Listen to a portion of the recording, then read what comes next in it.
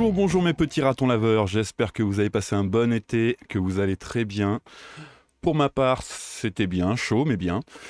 Donc euh, ça faisait longtemps que vous n'avez pas fait de vidéo, j'ai décidé de refaire une petite vidéo récapitulative avec euh, tout le merdier pour les LED adressables. Donc on va partir euh, sur le hardware, donc les câblages des Pinmos, des tin cabs, des voltboards.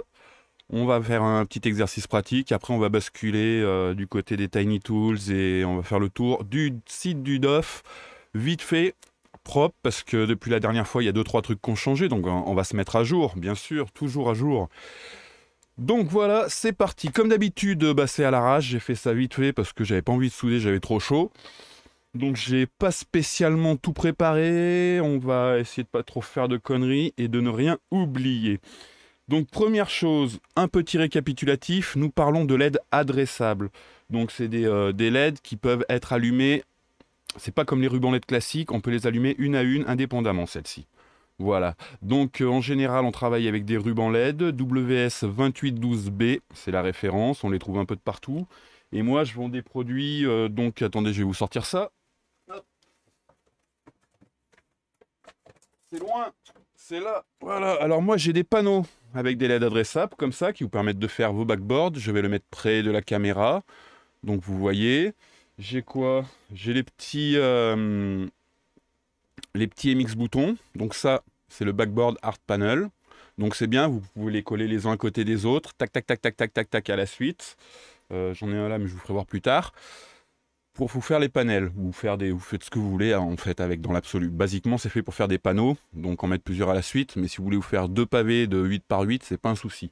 Donc pareil, j'ai les MX boutons qui servent euh, ben, à se mettre derrière les petits boutons de flip ou magna ou fire, euh, tout ce genre de choses, et qui sont pareil gérés avec une Tinsy ou une Wimos.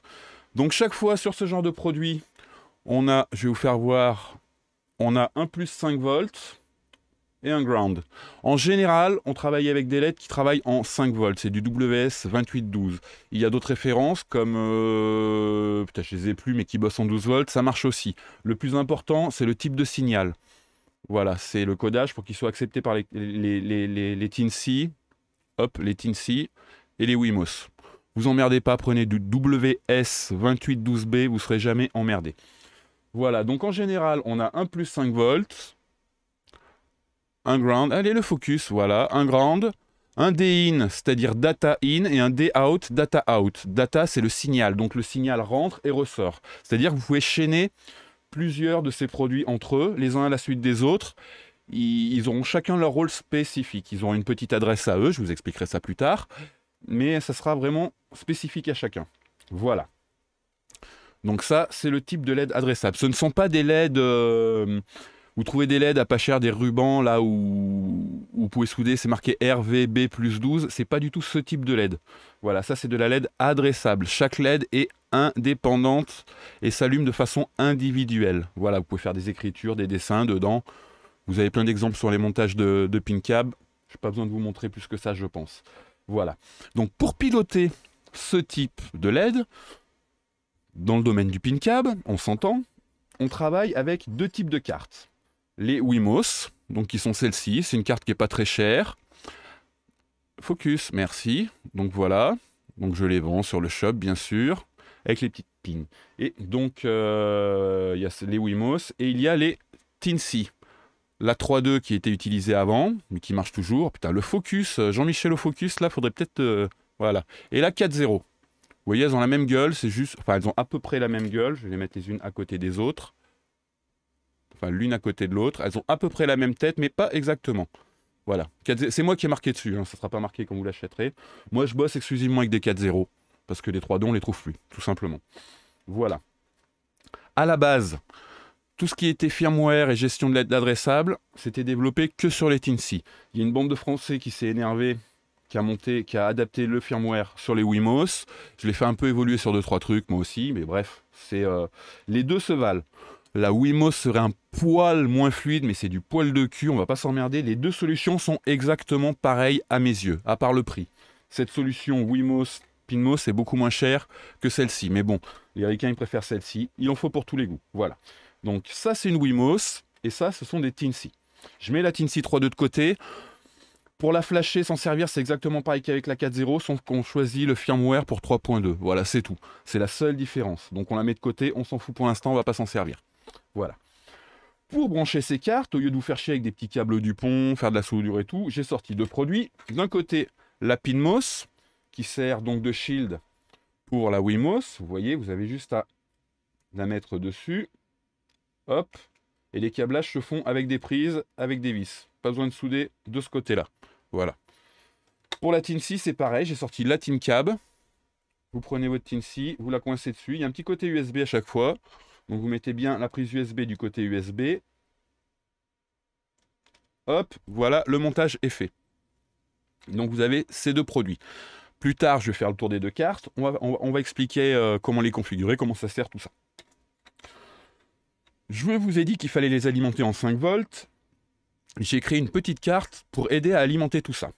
Pour information, chaque fois que vous avez des LED, que ce soit ici, sur des rubans ou sur des pavés comme ça, chaque petite LED consomme, quand elle est allumée au maximum, c'est-à-dire le rouge, le vert et le bleu sont allumés, ce qui vous donne un blanc à peu près, ça consomme 60 mA, soit 0,06 A. Pour connaître la consommation maximum totale, vous multipliez 0,06 par votre nombre de LED. Par exemple, là j'ai 64 LED, fois 0,6, ça donne 3,84 ampères. Voilà. On est d'accord que ça, ça sera si elles sont toutes allumées en blanc à fond. Pour info, les backboards, souvent, et même les sides et plein de trucs, vous les mettez rarement à fond, vous les faites bosser à 40-50%. Donc déjà, la conso est divisée par deux il va falloir dimensionner votre alimentation à un moment donné. Vous allez acheter une alimentation 5 volts. Je vous conseille d'acheter des alimentations Farnell. Euh, Farnell, putain. Plouf, plouf. Minwell. Des alimentations de qualité et non pas du bas de gamme. Voilà, c'est mieux. C'est plus stable, c'est plus propre, ça crame pas. Voilà. C'est comme, euh, voilà, vous avez une grosse voiture, vous mettez pas des pneus, des pneus de chez Wish, quoi. Vous mettez des bons pneus dessus. C'est, faut être cohérent au bout d'un moment. Voilà, c'est mon avis. Faites comme vous voulez après. Voilà. Tout ce que je vous dis, c'est mon avis, ma façon de penser. Hein. Vous n'êtes pas obligé d'y prendre à la lettre. Je vous donne juste comment je pense la chose. Voilà. Donc j'en étais où? J'en étais à 3 ampères 84 par, euh, par, par plaque, par exemple ici. Là, j'ai 4 LED, donc 6, 6, 12, 12 et 12, 24. 240 mAh de consommation à fond. Ça, ça risque de bosser à fond, mais bon, 240 milli, c'est pas, ça va pas chier loin. Voilà. Vous calculez, vous additionnez toutes vos LED et vous aurez l'ampérage dont vous devez avoir euh, dont vous devez disposer sur votre alimentation. Voilà. Si j'ai 10 euh, panneaux de 3,84 maximum, je suis à 38,4 ampères, sachant que ça bosse pas à fond, je vais prendre une alim 30 ampères, ça devrait passer tranquillou. Voilà. Vous voyez l'histoire? Si vous savez que c'est que des trucs comme ça ou que ça va marcher tout le temps à fond, et eh ben ça fait 38,4 euh, ampères. Prenez une 40 ampères, comme ça vous avez un peu de marge. Pour info, ça, ça consomme que dalle. Hein. Pour euh, les deux, les deux cartes, l'alimentation sera prise sur l'USB et non pas sur l'alimentation des LED. Je vous expliquerai pourquoi après. Voilà. Donc pour alimenter tout ce joyeux merdier, moi j'ai fait les voltboards. Donc une voltboard, c'est une carte dans laquelle on arrive ici depuis son alimentation.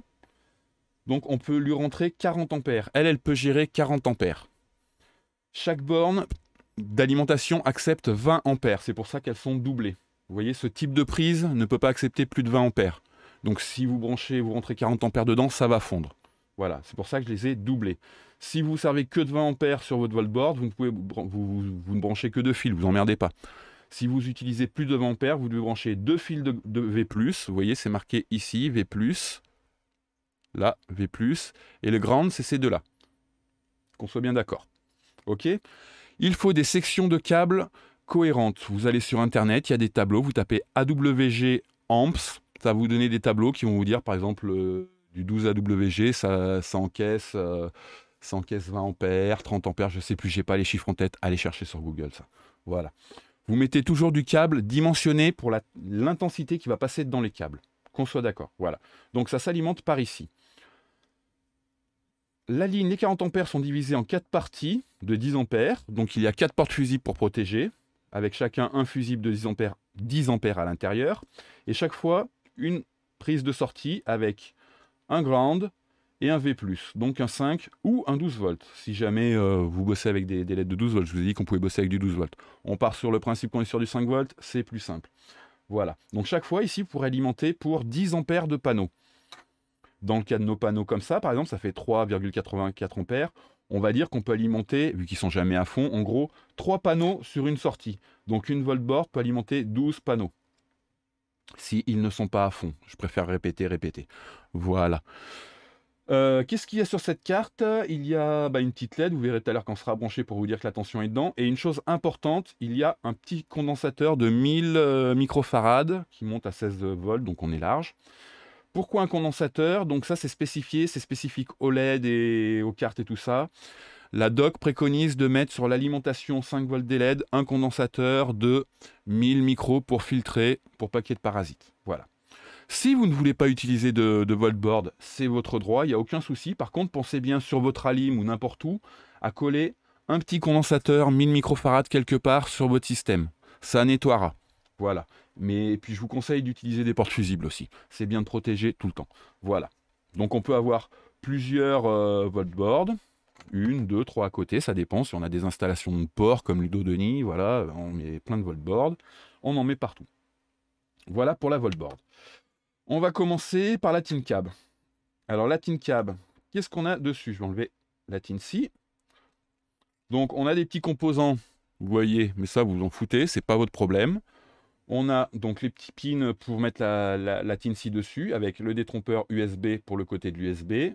On y met là, on fait gaffe de ne pas se planter, de ne pas décaler. Vous voyez, hop, merci. Ça rentre. Faut forcer un peu, c'est comme pépé dans bébé. Hein. Voilà. Qu'est-ce qu'on a d'autre? On a un bouton test, vous pourrez voir tout à l'heure, qui sert à tester les LED, à lancer une séquence de couleurs pour être sûr que bah, la carte communique avec les LED, qu'on a le retour de ground, que tout se passe bien, basiquement. C'est un test hardware, ça n'a rien à voir avec du soft, avec ce qu'on fera plus tard dans, l'ordinateur. Voilà, c'est un test hardware. Pareil, il y aura le même bouton, vous verrez, sur la PinMOS, c'est un bouton de test. On a une prise marquée plus 5 volts et ground. Et c'est marqué ici, c'est de l'américain, et les gars, international ou pas? C'est marqué Do not connect plus 5 volts, plus 5 volts, sorry, on virtual, pin, euh, on virtual pinball. Ça veut dire que cette prise, jamais, si vous en servez dans, dans, votre pin cab, vous ne brancherez le plus 5 volts dessus. C'est si on s'en sert pour autre chose. Voilà, pour faire du WLED, des conneries comme ça. C'est pareil pour la PinMOS. On ne doit pas brancher le plus 5 volts. Voilà. On branche le ground. On est obligé de brancher le ground. C'est tout. Ce ground devra être relié au ground de votre alimentation de LED. Donc soit vous le reliez sur n'importe quel ground de votre voltboard, donc soit en, en, entrée, soit en sortie, si le fusible est OK. Soit vous le branchez directement sur le ground de votre alimentation. Moi, mon alim, ça va venir d'une prise, donc je ne vais pas vous faire voir, c'est un bordel, mais bref. Il faut toujours brancher le grand sur une alim. Et ici, nous avons une prise 8 broches, notée de 1 à 8. Ce sont les 8 sorties qui vous permettront d'envoyer le signal. C'est les sorties data. Donc 1, 2, 3, 4, 5, 6, 7, 8. Voilà, là-dessus, il n'y a que ça. Le support INSI, le bouton test, la prise plus 5 ground où on ne branche pas le plus 5, et les 8 sorties de data. Pour ce qui est de la PinMOS, c'est grosso modo la même chose. On a l'épine avec le détrompeur USB qui est ici. On branche la pinose dessus. Bim bam. On a la prise ground plus 5 volts et c'est toujours marqué ne pas connecter le 5 volts en américain ici. Donc on ne branchera pas le 5 volts. Pour info, les cartes Tinsy et Wimos seront alimentées par l'USB, par le 5 volts de l'ordinateur. Pourquoi on ne doit pas brancher le 5 volts? Si par une raison X ou Y, votre alimentation 5 volts des LED se mettait à défaillir, à défaillir, à ne pas marcher, voilà, c'est plus simple. S'il y a des connes, le problème c'est que les LED, sont un peu, c'est de l'électricité. L'électricité, c'est bête, mais c'est bête à manger du foin. Donc l'électricité, elle se dit, oh, j'ai pas de 5 volts ici, ah bah je vais le prendre euh, dans celui qui est dispo ailleurs. Et votre 5 volts, il va passer par l'USB, il va repartir par ce fil, et il va aller alimenter vos LED. Et si vous avez 10, 20 ampères de LED, les 20 ampères, ils vont passer à travers l'USB ici, ça peut vous cramer la Wimos, voire pire, vous cramer le PC, tout l'étage USB du PC. Donc c'est très mauvais, c'est pour ça qu'on ne branche pas ce putain de 5 volts. Voilà, je l'ai répété pas mal de fois, je vais peut-être le répéter encore, j'aime bien. C'est le comique de répétition. Donc voilà, pourquoi on ne doit pas brancher dans ce cas ou dans ce cas le plus 5 volts ici. Voilà. Donc sur cette carte, donc on a toujours le plus 5 GND, on a les 8 sorties de signal qui sont ici notées D5, D6, D7, D8, D1, D4, D2, D3. C'est les sorties euh, de la Wimos, mais c'est indiqué sur euh, les, firmware, les, firmware les, les, Tiny Tools, pardon. La D5, c'est la première sortie, la D6. C'est dans cet ordre, c'est parce que c'est comme ça. Cherchez pas plus loin, c'est comme ça. Voilà, j'ai pas pu faire D1, D2, D3, D4. C'était la merde. Voilà. Et on a en plus un grand qui est disponible ici pour chaîner avec, donc comme tout à l'heure, soit le grand de la Voltboard, soit celui de la lime. Pour info, le ground qui est ici est exactement le même que celui qui est ici. C'est deux fois la même chose. Donc vous branchiez ici ou là, c'est pareil. Le bouton de test ici.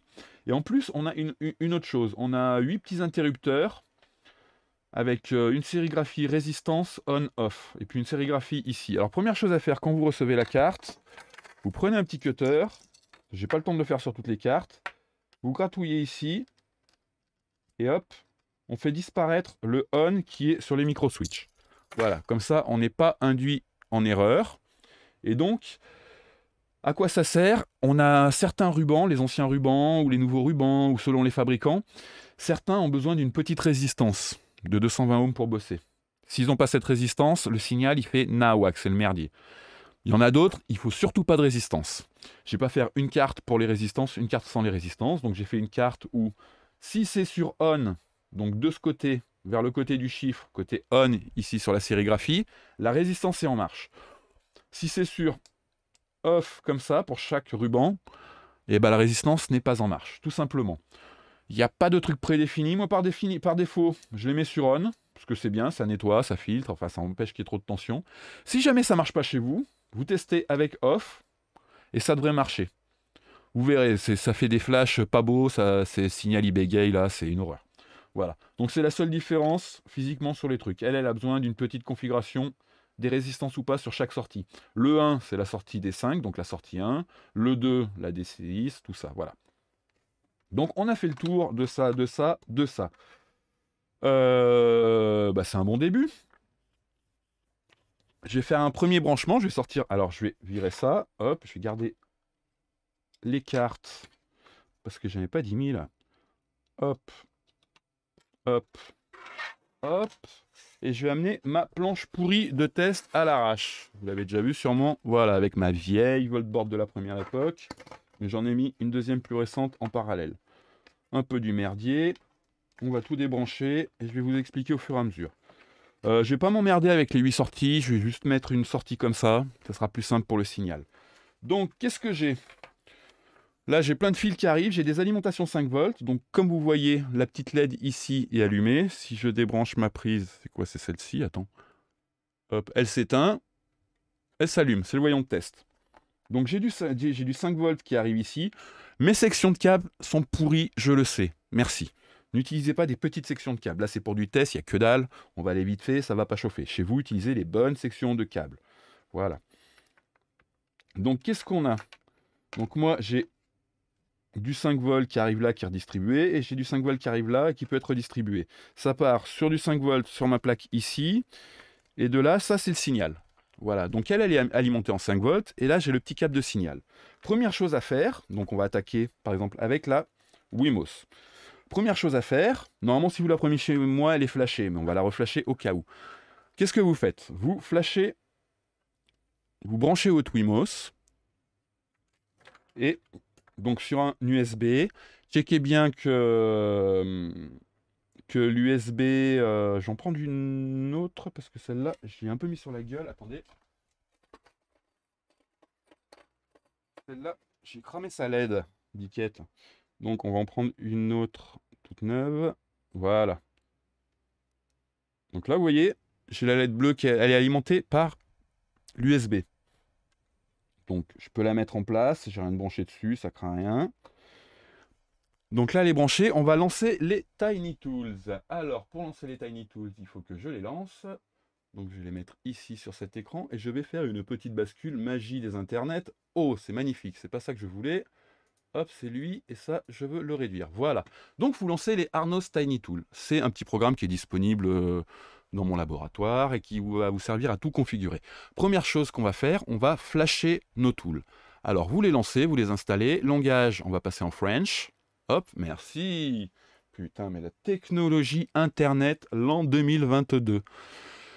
Première chose à faire, votre, votre euh, Wimos pardon, a été branché avec un câble data sur un port USB de votre ordinateur. Vous cliquez ici, vous choisissez le port com de votre petite euh, Wimos, donc là c'est 73. Voilà. Ensuite, donc vous, on vient ici, flasher de firmware, on vient ici, Wimos. On vient ici, on choisit le bon port com, on se souvient de ce numéro de port com, 73, vous ça sera sûrement 3, 4, 5, 2, ce sera pas des ports aussi grands, c'est que j'en ai flashé un peu une pelletée là, et, donc ça augmente les ports com. Ce numéro de port com vous servira tout à l'heure pour faire votre fichier cabinet pour configurer tout le merdier. Voilà. Ensuite, on clique en dessous sur sélectionner un firmware. Par défaut, ça ouvre la bonne fenêtre avec les firmwares qui sont dispo dans les Tiny Tools. Vous n'avez pas à les chercher ailleurs. Nous voulons le firmware pour des WS 2812B. C'est ce qu'on a dit tout à l'heure. C'est pas des 2811, c'est pas des 2812 classiques, c'est pas des 2813, ce sont des 2812B. Je clique ici, ouvrir, hop. Quelle est la taille de flashage? Alors moi, je vends des Wimos 4 euh, mégas mais il existe des Wimos. Alors c'est bien des Wimos D1 Mini Pro. Ça ne marche pas avec les autres Wimos. Il faut du D1 Mini Pro. Si vous avez une 8 mégas, vous cliquez, vous mettez 8 mégas ou 16 mégas. Moi, je veux 4 mégas, donc je reste sur 4 mégas. La LED d'activité, donc c'est la petite LED bleue qu'on a vue tout à l'heure qui nous sert à se rendre compte quand euh, bah, le DOF communique, donc le pin cable communique avec la Wimos. Dans un premier temps, c'est intéressant de l'avoir. Le petit souci, c'est que 3, 4, 5, 6, sur notre sixième sortie, en fait, on a une, la sixième sortie de signal qui est partagée avec cette LED. Donc si on laisse la LED d'activité, la première LED du ruban qu'on branchera sur la sixième sortie, elle va déconner. Pour les tests, donc on va laisser la LED d'activité. Plus tard, on pourra la supprimer. Voilà. Donc pour l'instant, on la laisse. Test RGB au boot, on n'en a pas besoin. Parce que nous, le test, on le fait avec le bouton test. Si vous voulez que chaque fois que votre, euh, votre carte boot, elle est le test, vous cliquez ça. Moi, je ne veux pas.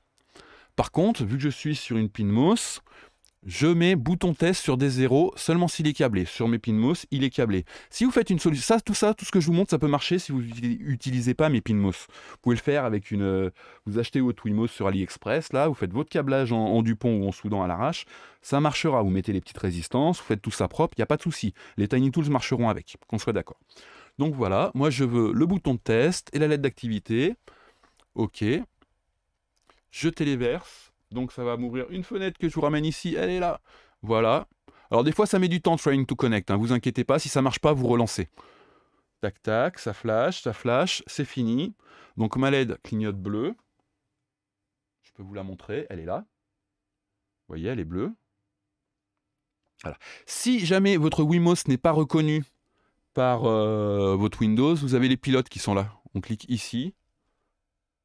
Ça ouvre cette fenêtre et vous lancez euh, l'installeur en x86 de mémoire, donc le CP 210X euh, VCP installeur Nanani. Vous installez ça et votre Wimos sera reconnu. Ça, c'est si vous voyez pas le port com ou si ça déconne. Voilà. Donc, pour le flash de la Wimos, hop, je repasse sur la cam, on est bien. Elle est flashée. Donc, on est dans la partie flash, on va pas s'emmerder, on va faire la même chose avec la Tinsy. C'est un poil différent. La Tinsy, vous la branchez. Il y a un petit bouton ici. Vous appuyez dessus. Si vous voulez la, flasher, la, flasher, vous appuyez sur ce bouton et il y a une petite LED rouge qui clignote là. Vous voyez? Donc on va la poser. Je vais la poser là. De toute façon, on s'en fout, on va passer sur l'autre fenêtre. Hop, on passe ici. Cette fois-ci, on veut toujours flasher. Mais on veut flasher quoi? On veut flasher une Tinsy. Notre Tinsy est là. Là, c'est un poil différent. Qu'est-ce qu'on a? On a une ici 3-1, 3-2, ou 3-1, 3-2 ou, 4-0. En l'occurrence, on est sur une 4-0. On clique sur, sur 4-0, donc. Vous voyez, ça nous l'a changé ici. Selon laquelle on met, on a l'image de la 3-1. Oh putain, trop fort ce logiciel. Merci Vrunch encore. Je te cybersus, mec. Donc voilà. Euh, revenons à nos moutons. Sélectionner un firmware. On va ouvrir les firmware. Donc là, on est sur la dernière version à savoir les Tinsy 4.0 avec, euh, avait des petits soucis sur les dernières versions des LED adressables, il y avait 5, ça a été résolu sur le firmware. Donc on va choisir maintenant le firmware qui est le premier. Vous voyez, il y a un firmware pour les 3.2. Les 3.2 n'ont aucun souci. Donc si vous flashez une 3.2 ou une 3.1, vous prenez ce firmware. Mais en l'occurrence, nous, on va bosser sur le Tinsy 4 V5 DM Aprio. Donc on a une enfin bref, On va prendre celui-là. Prenez celui-là, vous n'aurez pas d'embrouille. Ça marche avec les anciens, les nouveaux, ça marche avec tout. Clic, clic. Et là, pour téléverser, on a juste à cliquer. Hop, ça prend. Putain, j'ai même pas eu le temps de. Attendez. Je vais le refaire. Comme ça, j'ai la fenêtre qui va s'afficher. Vous avez cette fenêtre qui s'ouvre et elle attend qu'on appuie, qu'on la mette en, en, en, mode programmation. Putain, je bégaye. Ça y est, je suis en bourrage papier. Il nous donne un conseil, appuyez sur le bouton reset. C'est pour ça que je vous dis d'appuyer sur le bouton reset. Vous appuyez dessus. Hop, 1, 2, voilà, c'est flashé. Deux secondes. Votre Tinsy a été flashé. C'est pas plus compliqué que ça. On n'a pas les options ici, les autres options, parce qu'il n'y en a pas besoin. La Tinsy, elle n'a pas d'options, elle se démerde, elle gère tout bien. Voilà. Donc on a fait le flash de la Tinsy et de la Wimos. Vous voyez, c'est très simple. C'est pas plus compliqué que ça. On va repasser côté hardware. Donc vous voyez, une fois qu'elle a été flashée, elle a sa lettre qui clignote comme ça. Elle est contente. Hop. Et je vais la mettre en place. Ici. Voilà. Alors, je prendre une petite gorgée de café parce qu'il faut s'entretenir quand même. Voilà, maintenant on va faire du câblage à l'arrache. Alors, qu'est-ce que je vous ai dit? Je vous ai dit qu'on ne branchait jamais le plus 5 sur les cartes. On va commencer avec la Wimos. Donc on ne, branche que le ground. Vous voyez, le ground, je l'ai connecté à la sortie ici. Je branche mon ground. Je branche mon USB sur la carte. La petite LED bleue s'allume. Elle est contente et je branche. Donc là, j'ai mes, sorties. Je vais, je vais me servir que d'une seule sortie. La première, donc des 5, sur laquelle je vais brancher le signal de mon petit pavé de lumière. J'appuie sur test. Oh putain, ça marche. Voilà, R, V, B. Elle s'allume. Je rappuie sur test, R, V, B. Donc je vous rappelle, plus 5 ground qui sont branchés sur mon, ruban, un signal qui va à la carte, et ici juste un ground. Vous voyez, c'est très simple. Donc là, c'est tout sur la sortie 1. Si par exemple je veux brancher, tester une autre sortie, je vais tester la sortie. Euh, bah, c'est quoi C'est là. L'avant-dernière. Vous voyez, j'ai branché système. Je vais mettre ça. Un petit système à l'arrache là pour tester. Je relance un test. Donc j'appuie sur le test. Hop. Il y a un petit décalage parce qu'elle est à la fin. Voilà, mais c'est que sur le test, vous inquiétez pas. Donc voilà, le test RVB, ça marche. Merci, bisous. Hop. Comment ça fonctionne avec Madame Tinsy C'est exactement pareil, c'est juste que la séquence de test est un poil différente. Je branche ça. Je branche bien sûr le ground. Et je branche ma sortie sur le 1. J'appuie sur test.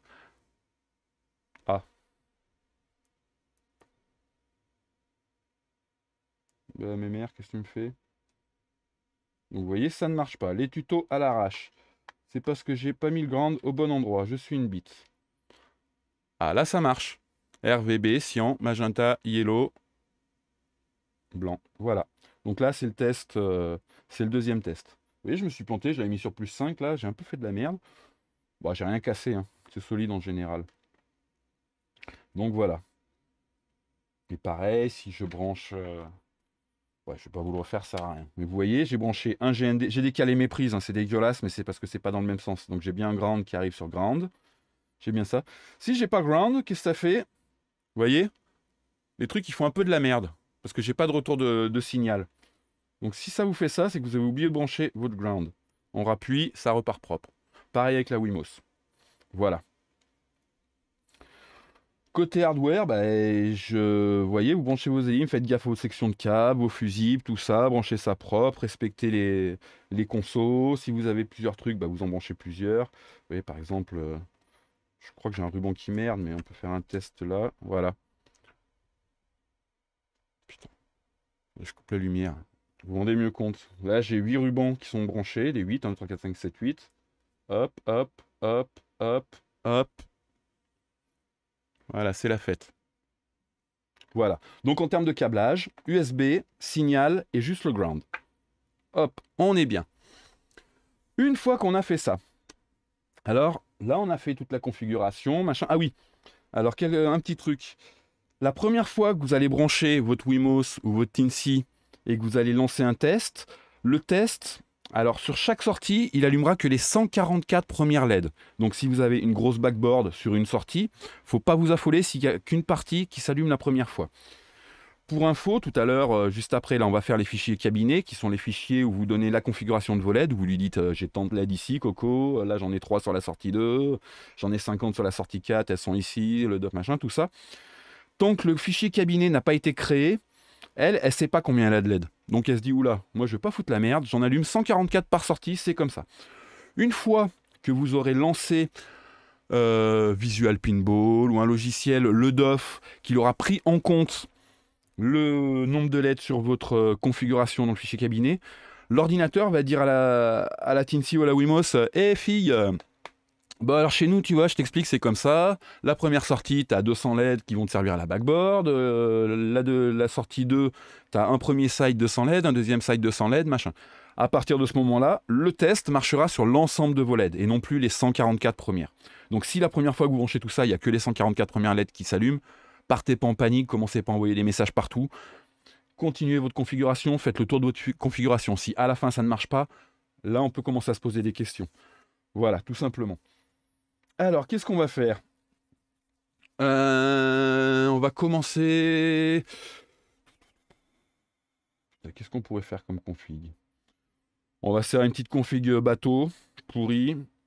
On va la faire virtuellement sur la Wimos, et puis je vais la faire à la Tinsy pour que ça marche.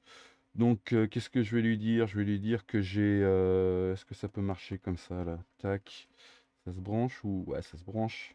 Ah, c'est un peu cochon, mais ça marche, je vais voir. Ouais, ça marche. Donc voilà, vous voyez, moi j'ai euh, ce ruban, il est pas. Euh, c'est lequel le dernier? Ouais, ce ruban il n'est pas branché. Parce que c'est le 1. Et à la place du dernier, moi j'ai collé. Euh, en plus du dernier, j'ai collé ma backboard. Donc on va partir du principe. putain, non, ça va être compliqué si on fait comme ça. On va faire autrement. Ça l'arrache, hein. Je vous ai prévenu, les gars. En 1, je mets ma backboard. Et en 7 et 8, je vais mettre deux lignes et ça sera deux sides par exemple. Donc je vais tester. Premier side, deuxième side, backboard. Donc euh, on va faire un premier tour de, config cabinet avec la Wimos et puis après on fera la config complète là-dessus. Donc pour ça on va passer sur le deuxième écran et on va aller dans ici on va cliquer sur le fantastique cabinet K-cabinet et on va partir sur un nouveau K-cabinet parce qu'on est des dingos. Alors, comment ça marche? Ici, déjà, premièrement, on choisit le type de carte qu'on a. Est-ce qu'on va faire un cabinet pour une carte Wimos ou pour une carte Tinsy On a dit que dans un premier temps, on le faisait pour une Wimos. Je vais vous sortir les premières infos pour la Wimos donc les infos de contrôleur, et puis après on le fait avec la Tinsy, on, on gérera toutes les sorties et on fera le tour du bordel. Voilà. Alors après, on clique sur les choses. Ici, qu'est-ce qu'on a? On clique sur le nom en haut. On peut donner un nom à son fichier, à son flipper. Ça sert absolument à rien. Qu'on soit d'accord, donc vous pouvez mettre n'importe quoi. Voilà, le micro-pénis de Ludovic Denis, tout ce que vous voulez, on s'en fout. Le pink cab, euh, moi je mets flipper de la mort qui tue, par défaut. Voilà. Ensuite, on va cliquer ici pour configurer les infos de la Wimos. Alors, première chose à faire, Portcom. Ici, vous allez taper le numéro de votre Portcom. Euh, c'était quoi déjà le Portcom de la Wimos? Je ne me rappelle plus du tout, donc je vais la brancher. Et je vais, pour me rappeler du Portcom de la Wimos, je viens ici. Je fais ça. Hop, c'était 73. Voilà. Donc dans le cas échéant, on est ici comme en arrière avec mon petit clavier, mes petits doigts magiques, comme 73. Voilà. Baud rate, on le laisse à 200 000, c'est euh, ou 2 millions, 2 millions, 2 millions de bottes dans ta gueule. Voilà, donc ça on laisse par défaut. Les timeout, le 300, 300, et les handshake, start et end 100 et 100.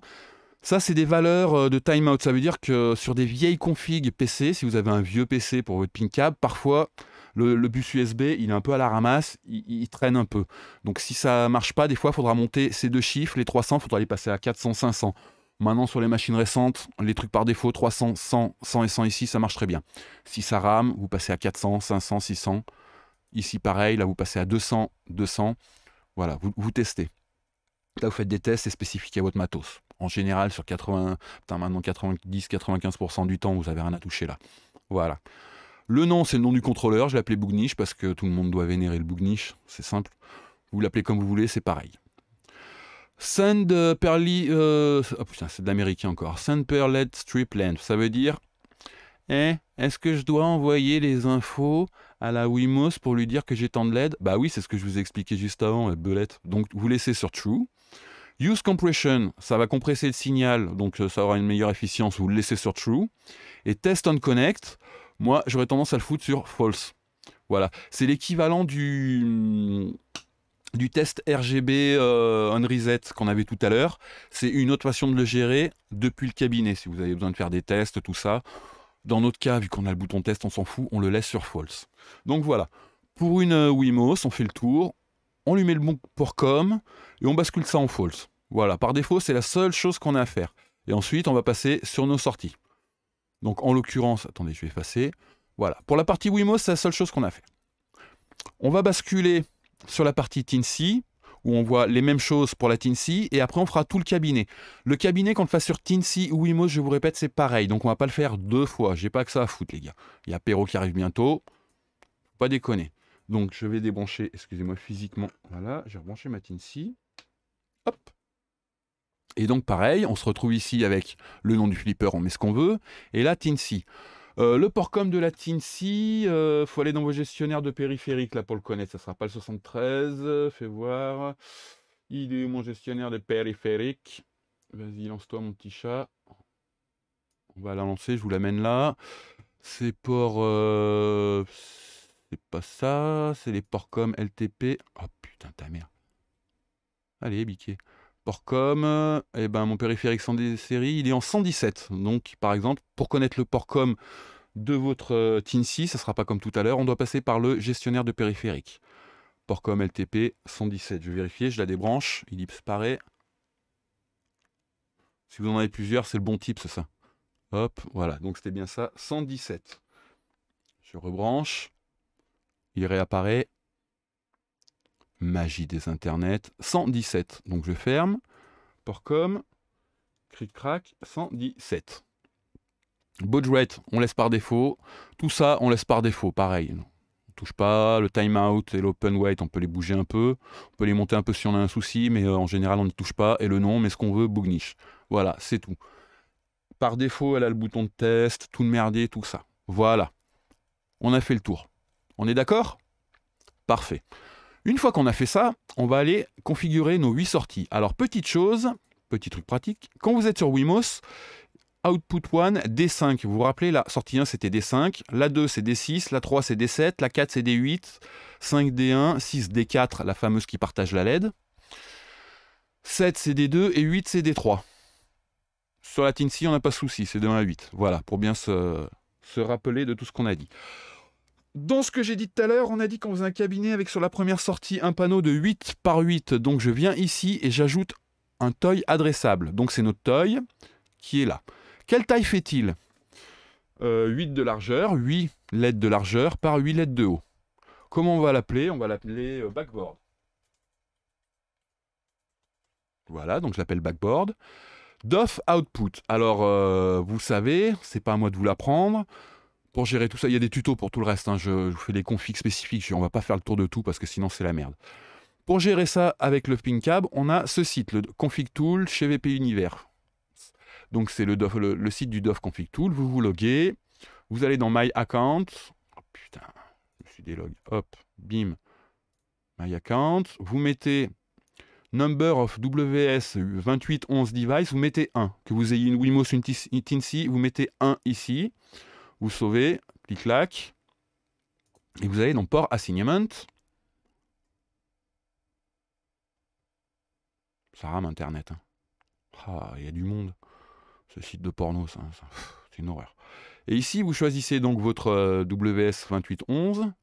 Pinscape, c'est votre KL25, ça n'a rien à voir. Donc WS2811, même si vous avez des LED 2812, vous prenez ça. Voilà, c'est comme ça. Et vous avez chaque fois des sorties port 1, 2, 3, 4, 5, 6, 7, 8, 9, 10, 11, 12. L'histoire, c'est que c'est géré en RVB. Donc un port utilise trois sorties. Donc le port 1, donc là je vais tout remettre à 0. Comme ça, on va être beaucoup plus simple. Vous comprendrez. Hop, hop. Hop.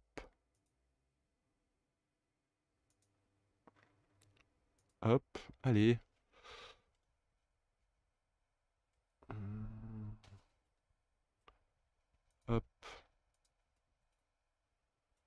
Hop. Hop. Plein de hop. Hein. On revient à 0 ici aussi. On revient à 0 ici. On a dit qu'on mettait trois toys, nous. On avait un premier toy, donc euh, notre première sortie, c'était la backboard. Et après, sur les sorties 7 et 8 de la Tin Cab, on avait un side left et un side right. Donc ma backboard fait 64 LED et on fait deux sides de 10. Voilà, c'est pour tester. Hein. c'est à l'arrache, euh, complet du cul. Alors, nous, on a besoin de trois sorties. Il faut que vous compreniez la notion de patch, d'interfaçage, de tout ça. Je sais pas, j'en avais parlé sur une vidéo, cherchez-la. Euh, on a trois sorties, donc on va dire que dans le DOF, on a la sortie numéro 1, sur laquelle on aura notre backboard. Notre sortie numéro, donc si en 1, on met une sortie, donc on utilise des combos, on voit juste après, je vous fais juste après le coup des combos. Combo 1, ce sera notre backboard, je le mets en 1. Putain, ce site de merde. Combo 2, ça sera notre side left. Et combo 3, 1, 2, 3, 4, 5, 6, 7, 8, 9, ça sera notre combo 3.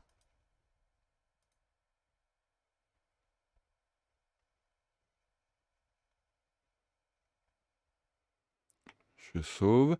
Qu'est-ce que c'est un combo? Je vous fais voir tout de suite. On va dans Combine Toy. Combo 1.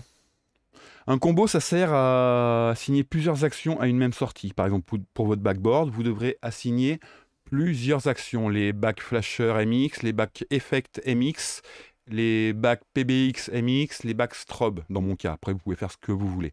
Donc, c'est euh, plusieurs euh, fonctions qu'on va assigner à une seule sortie. C'est comme ça qu'on peut avoir des lettrages, des coups de strobe, des trucs comme ça sur euh, nos backboards ou sur les sides.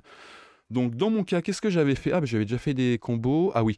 Donc, moi, ça sera combo 3. Vu que j'ai déjà fait, je vais pas tout mettre. Donc, dans mon combo 3, j'ai mis back flasher MX.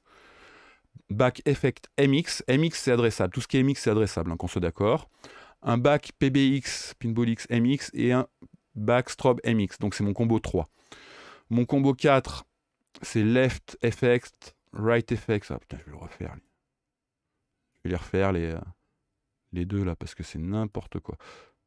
Voilà, donc je vais me faire un side left. Donc je veux ajouter un RGB adressable avec en premier, euh, donc side left, c'est euh, Left Effect MX suivi de Left Flasher MX. Ça veut dire que sur mon side de gauche, donc left, j'aurai en effet dessus tous les effets de la truc, plus les effets des flashers sur le côté. Les deux seront sur mon bandeau. Sur mon bandeau numéro... Euh, ah merde, non. Ah si, c'est bon. Sur ce bandeau. La priorité sera au toy numéro 1, donc les effets auront une priorité sur les flashers. C'est ce que je veux. Voilà, j'en veux que deux. J'ajoute. Oui, je vais ajouter ce combo. Et je vais rajouter un deuxième combo pour la même chose à droite. Donc c'est left euh, right effect MX. Euh, PF euh, right effect MX. Et je vais vérifier un truc. Left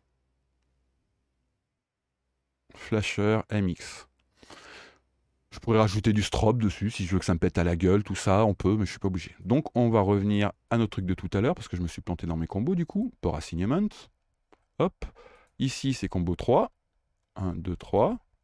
Ici c'est combo 4. Voilà, c'est pour ça que j'ai pas. Et ici c'est combo 5. Voilà, chaque sortie utilise 3 ports. Donc on est d'accord qu'on est obligé de décaler. Port 1, c'est mon combo 3. Port 4, donc combo 3, c'est donc port 1, Combo 3, c'est ma backboard. Port 4, c'est combo 4, c'est mon left euh, side. Port 7, combo 5, c'est mon right side. Une fois que j'ai fait ça, je sauve et je clique sur Generate Config. Ça va me donner mes fichiers de config que je mettrai dans mon direct output, euh, mon dossier direct output. Ça, vous savez faire. Donc, on se rappelle, port 1, backboard, port 4, side left, port 7, side right. Toujours 3 entre les chiffres. On n'aura jamais en MX de port 2 ou de port 3. Voilà. Une fois qu'on a fait ça, donc on revient là. Ma backboard, elle est donc en port 1. Même si elle est sur ma sortie 1, j'aurais pu la mettre en, port 4 euh, par exemple. Ça n'a rien à voir. Vous voyez, c'est là où on fait un adressage. Le port 1 va se situer ici, machin. il y a une notion à, à comprendre là. J'ai fait une vidéo là-dessus, je vous répète, allez la voir. Donc c'est ma sortie 1. Et qu'est-ce qu'on a en LED? Dans quel ordre sont les LED? Je vais repasser sur ma caméra. Donc vu qu'on est sur la backboard, euh, elle est dans ce sens. Ma backboard, le signal, il arrive ici, il fait, il descend, il va sur le côté, il remonte. Il vient là, il descend. Il vient là, il remonte. Il vient là, il descend. Il vient là, il remonte. Ok? Donc, qu'est-ce que c'est chez nous?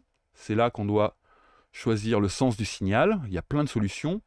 Si on est un peu paumé, on va dans Aide et on clique sur le cabinet générateur, arrangement de LED. Et ici, on trouve les arrangements.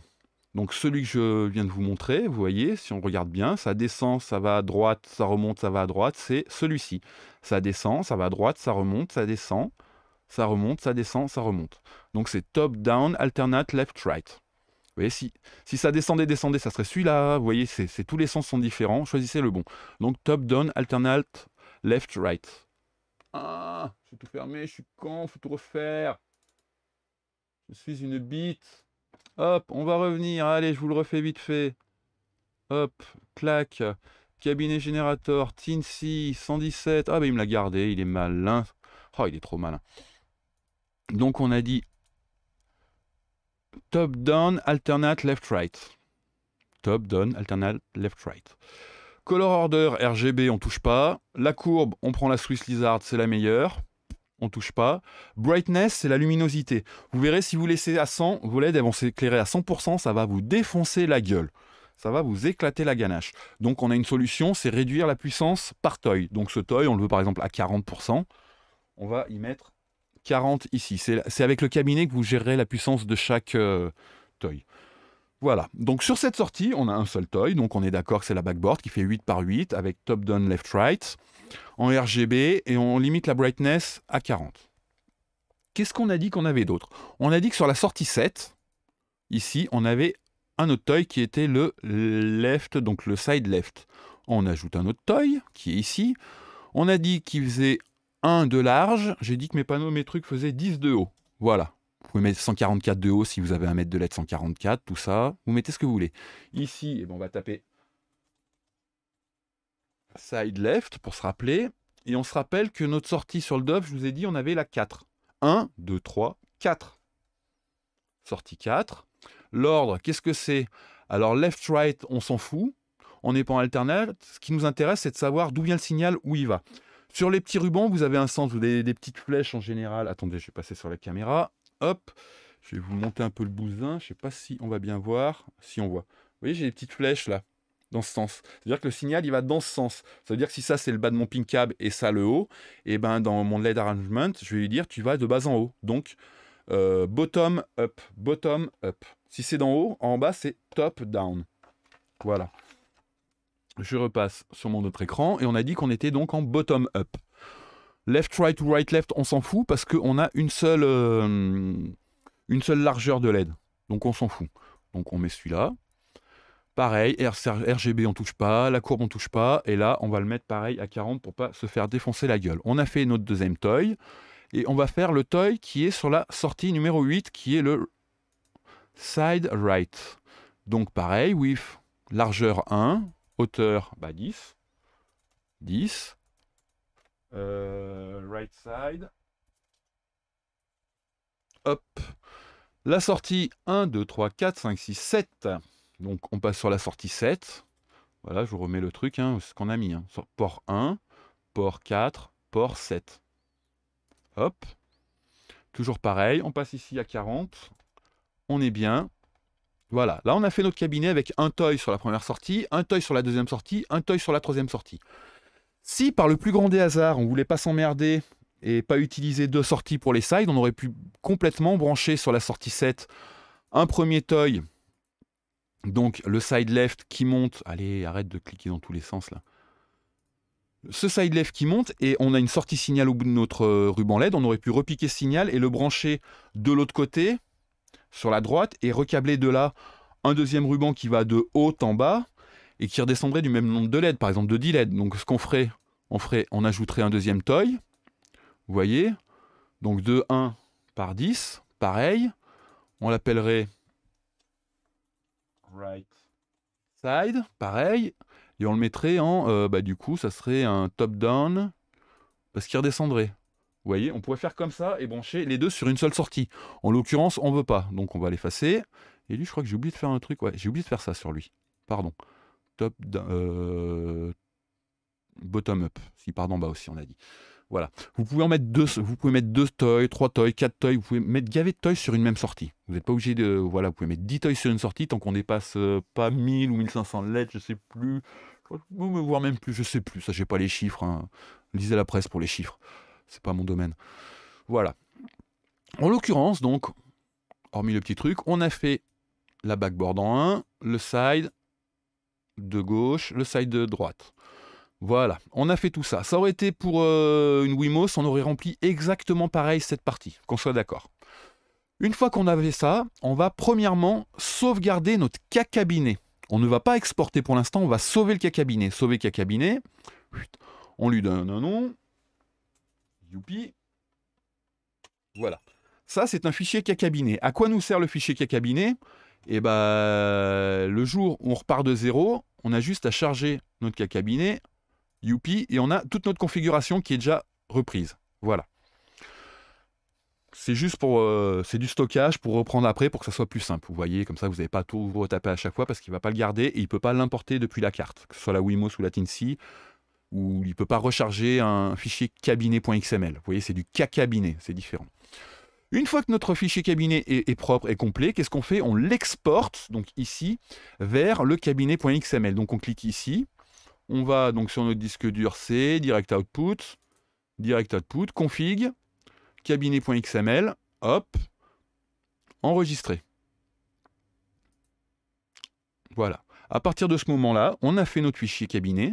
Il a été exporté. Je peux aller vous le, le chercher. On va, aller, on va aller le voir. Ce sera plus simple.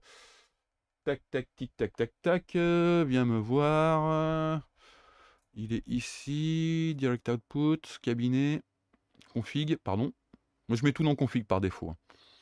Euh, cabinet XML. Vous pouvez voir. Donc XML, flipper de la mort qui tue, Bougniche, première sortie, on a trois sorties de configurer, sur le 1, le 7, le 8, 64 LED, 10 LED, 10 LED, en comme 117, les timings.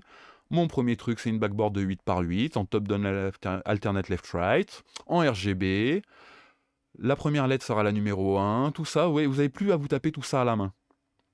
Voilà à quoi ça sert le fichier cabinet. Donc voilà. Donc normalement, une fois qu'on a fait ça, il me semble... Euh, il est où mon testeur de config tester? Je vais lancer ça pour faire un petit test. Faites voir si ça marche.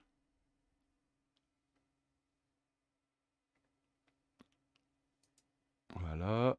Deactivate. Je vais mettre sur l'autre caméra. Vous voyez, si j'active mes trucs, j'active les tests. Je, vais cacher ces putains de lumière là.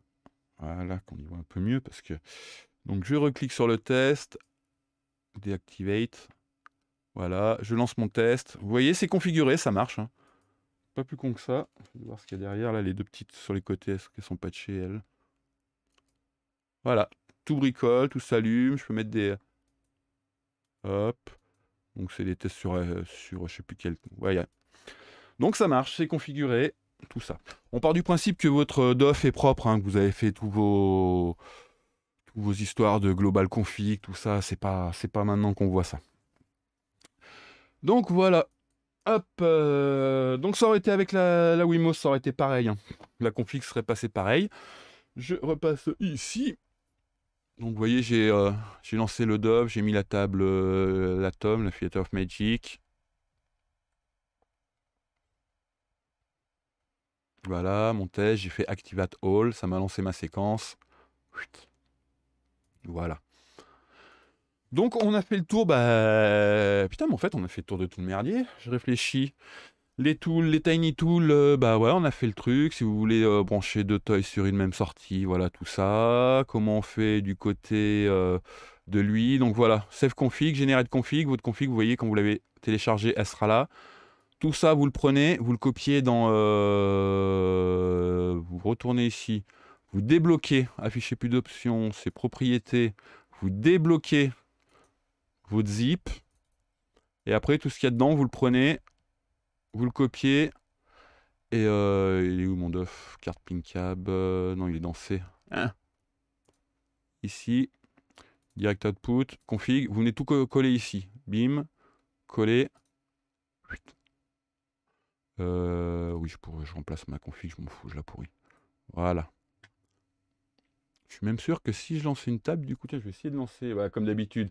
Je vais, je vais vouloir aller beaucoup trop loin. Je vais vouloir lancer VPX. Et je vais me taper une grosse merde. Qu'est-ce que je vais tester comme carte, comme table?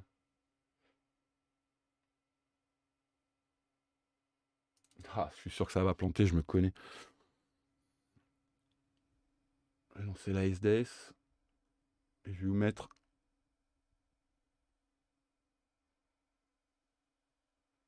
à la caméra. Donc là, normalement, devant la caméra aussi, c'est.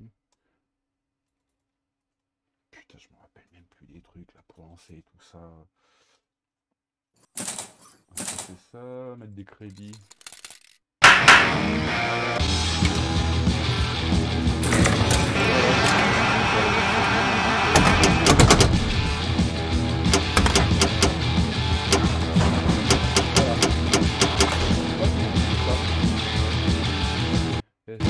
Merci. Hop. Voilà, alors je refais le tour. On ne branche pas le plus 5 volts ici, on ne branche pas le plus 5 volts ici, jamais. On évite de bosser sous tension. Voilà, on fait gaffe à ces sections de câbles, aux fusibles, on câble proprement, câble clair. On peut... Bon, pour le câblage, tout ça, c'est bon, on a fait le tour, on est d'accord. Et pour ce qui est de la config, le flash, vous avez compris. Ici, bon, on est tout bon, vous voyez, vous voulez rajouter un deuxième truc, vous penchez bien à sauver vos cabinets, si vous voulez en faire un nouveau, c'est ici.